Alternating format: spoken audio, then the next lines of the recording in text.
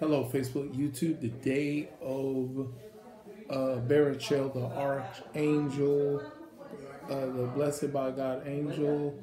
No, not uh, Saturn. He's a false god. That's Great Ruby. No. And then there's Linda. False gods and God's. She's tall, she's in. Uh, Shay- Shayla. Shayla. Thank Yeah, you. how you Thank doing? you. Thank you. Yes, I remember you. Shayla. I said, I know All you said Interesting. Well, uh, topic of the uh, well today is well we're approaching well it's Martin Luther King weekend and I have a message uh, for that. But um, I want to talk about this blood moon. This blood moon is awesome. Um, this here could be actually the day of the the uh you uh, I'm on yeah, on video. I'm on video. What's up? Yes. Uh, what is it? I guess I'll take the video with me. Okay, I'm gonna try to get this going. What's up? Okay, look at Sorry to bother you, dear. No problem. What is it? Do we have a bigger guy that's a Mexican? The little Mexican guy, I was gonna sit him outside He's on big. my Oh, step. I don't. Oh, a huge We one. have Yes. a bigger one? I don't Think know. so. I don't think He so. looks, he looks silly on my step. Yes, I don't think so. I'm afraid the dog would eat him. Yeah, yeah. I don't think we get. I think I thought we had something like that, but I don't know. But I don't think we do. I don't think we me, do. let me go look at the list. I don't think we do. Yes, I don't think we do. Uh, working at the Paint Party Studio and doing videos late. Probably a Siesta Man. Maybe Siesta Man. All right. Sorry, y'all. Um, uh, I uh, want to talk about uh, the reality of um, uh, oh yeah, about the uh, acceptable year of the Lord, the day of our vengeance. Now, here's what's interesting. On the fifteenth of Shevat uh, is going to be Monday and Monday right now, watch this. This blood moon is going to be at twelve o'clock. It's going to be at twelve o'clock, and the full moon is going to be at twelve o'clock too, near twelve o'clock, and it's going to extend for a good long time. Uh, yeah, and and what precedes that is uh the year uh, the fifteenth of Shevat Shevat and that is talking about the new years of trees. I did a message long time ago. Well, probably last year on the blood on the super blood blue moon that happened in January 31st last year about that this uh um uh blood moon is it, it is is is the acceptable year of the Lord. I believe truly believe that this is this blood moon is the acceptable year of the Lord going to begin because of the timing of it. And I like I talk about it that it's going to begin right at the beginning of Aquarius, and God had His uh, um prophecy. Jesus prophesied about a man, you know, uh, uh, you know, pitching a beer, a pitcher of water. You know what I'm saying? Follow him, and you know, and also that it, this holiday is talking about a man is a tree, and is in Deuteronomy 20. And interesting that this uh, date that's that the the blood moon is going to follow is 20. You know, uh, Deuteronomy 20 and 20 is going to begin 20 to the 21st. That's what's pretty cool. And it's so many, it's so much stuff that I cannot get on my video, but I will do a video tomorrow of all the stuff that I research is ridiculously showing that even it's a even the ideal I know people ain't gonna like it, but Donald Trump being sworn into office on January 20th is a sign to uh that supposed to follow this sign. You know, some his sign is a sign. And a person researched it it's crazy. It's really nuts concerning the timing of the ideal of Donald Trump.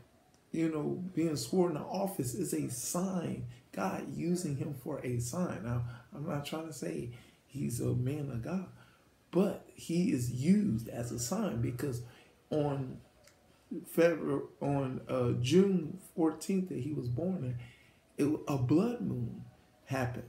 You know what I'm saying? It's crazy, y'all. It's really crazy of the research of the timing of things that God has put things strategically at a position that we cannot ignore that He's going to do and making the fulfillment. It's crazy, but I can't explain that right now. But I will do it on the next video tomorrow when the fulfillment happened in the morning. You know.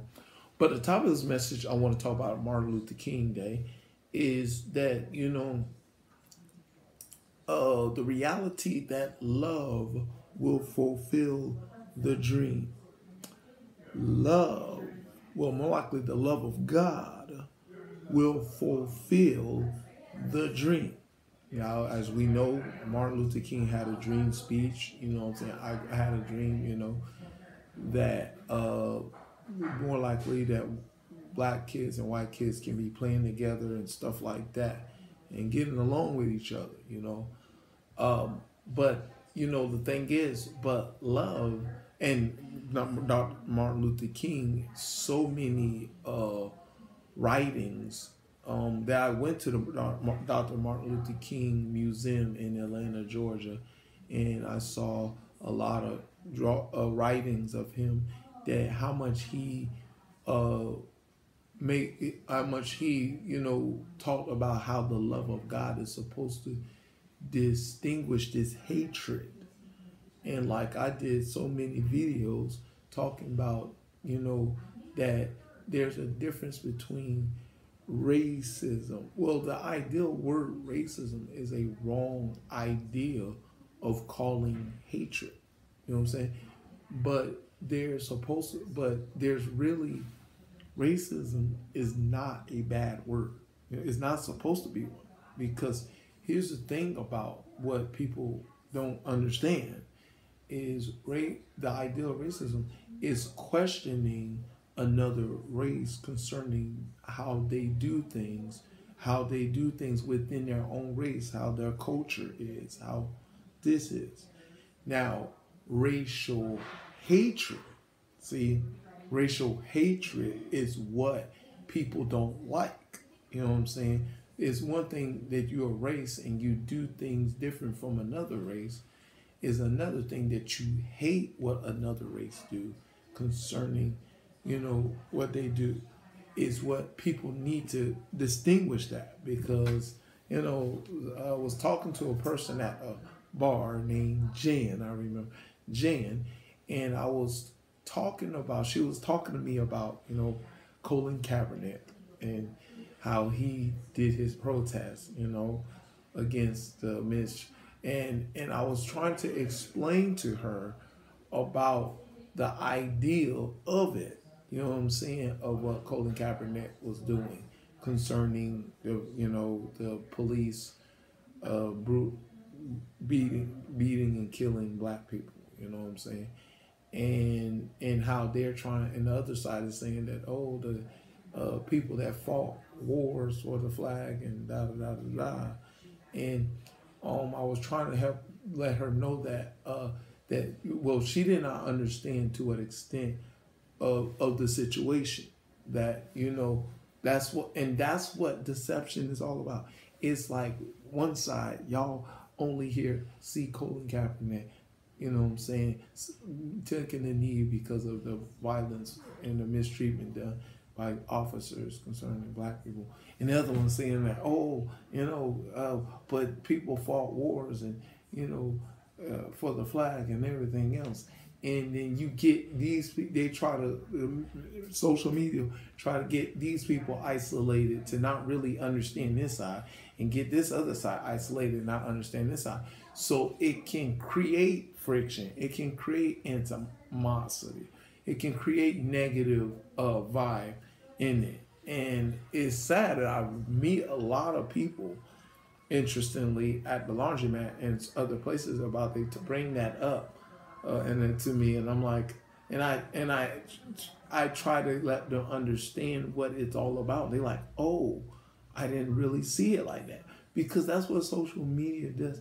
They isolate certain things and make it and make sure you emphasize one side and not really understand the other side you know and it's just and you know that's what this you know really this uh, government system is all about socially dividing people keeping people against each other and making laws to take power to take advantage of people based upon political either the political way or the corporate you know these corporations and all kind of other ways they try to make sure to keep people in pretty much slavery.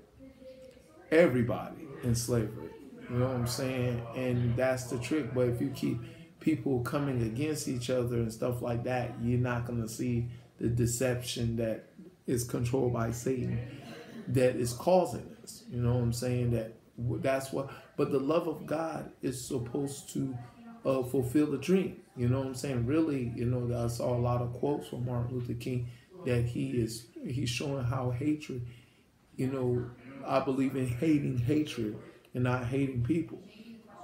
And the only way you can hate hate is the love of God, the love of God, because the love of God understands that, you know, of course, Matthew's 4, 5, 4, 4, love your enemies, bless those that curse you, pray for them, spitefully use you, that we're shining light to a darkness concerning that a person is not aware of, of not known of, of how things need to go about.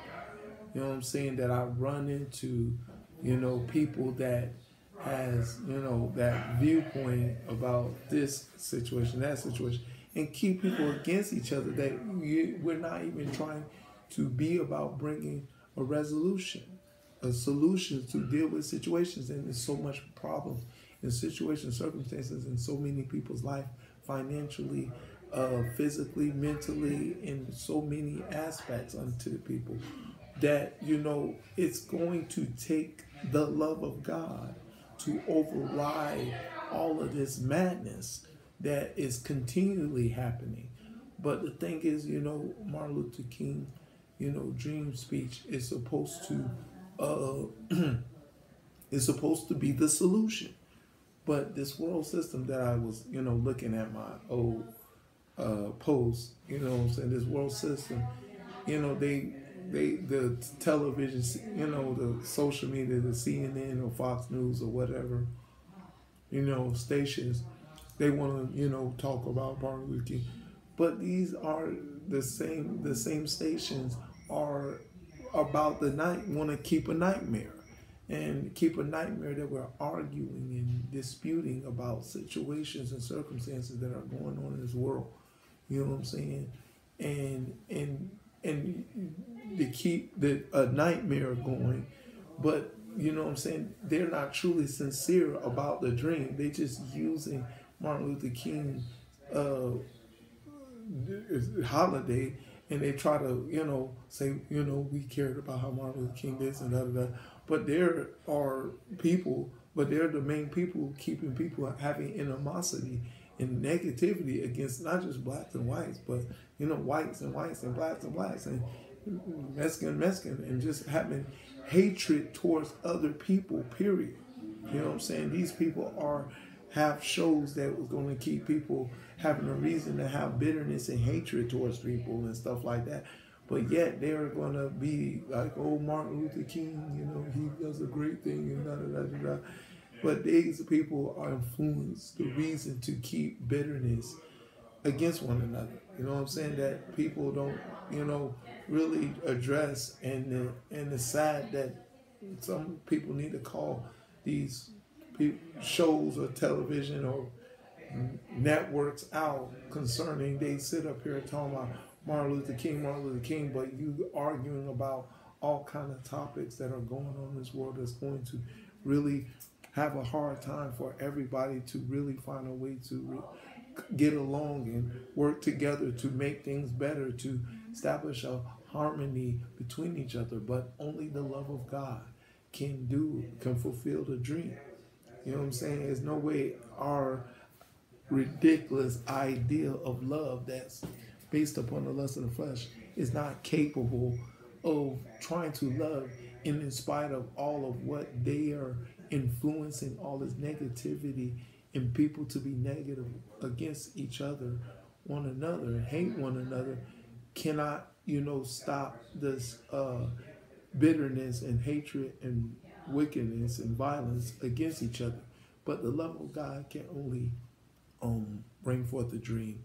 But the thing is we need to be about calling things out and you know and telling them to stop front and pretty much on Martin Luther King's day and like, oh well we think Martin Luther King is but if you think so, why you not about the agenda of bringing unity, showing doing shows and doing things to bring unity among people and try to resolve situations politically and well politically I guess they call it uh, in certain ways, but they're not really about Martin Luther King. They're just using his day as some uh, to get y'all ratings. You know what I'm saying? Is what really these shows are all about. They're not truly sincere about bringing their dream to make it happen.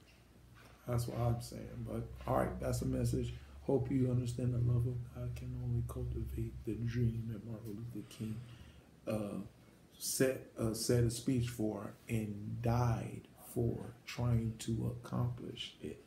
Died for trying to accomplish. That I will stand up for Martin Luther King and what he's uh, tried to, you know, cultivate in this time. Try dying, trying to motivate people to be about love. The love of God can only do what needs to be done to get things done. All right, that's a message. I will go ahead and